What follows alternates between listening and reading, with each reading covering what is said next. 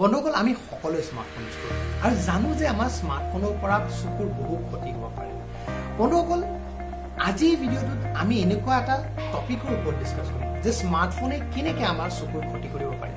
লগতে আমি ডিছকাছ কৰিম কি আমি সেই ক্ষতিৰ পৰা নিজকে কেনেকৈ ৰক্ষা কৰিব নমস্কাৰ বন্ধুসকল মই হৃদয়। আপোনালোকে চাই আছে ডিজিটেল বন্ধু আহক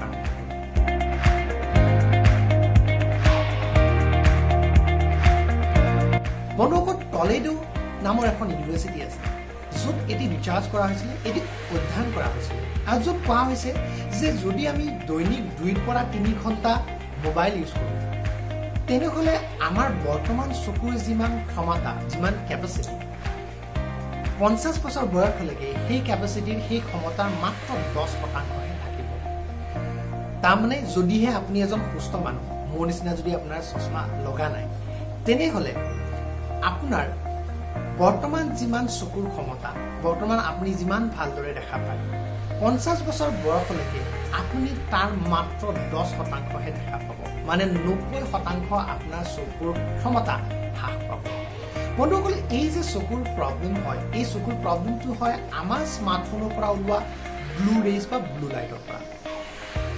আমি যদি সেই ব্লু ৰেজটো বা ব্লু লাইটটো বন্ধ কৰি দিব পাৰোঁ তেনেহ'লে আমাৰ চকুৰ তেনেকুৱা ধৰণৰ ক্ষতি নহ'ব। তাৰ কাৰণে আপুনি আপোনাৰ স্মাৰ্টফোনৰ ছেটিঙত যাব পাৰে। তাত ৰিড মোড থাকিব। নহ'লে blue light emitter of option থাকিব। সেই অপশ্যনটো যদি আপুনি অ'কে কৰে বা ৰিড মোড কৰে তেনেহ'লে আপোনাৰ স্মাৰ্টফোনৰ পৰা ব্লু ৰেজ নোলাব আৰু আপোনাৰ চকু যদি ভালে থাকিব।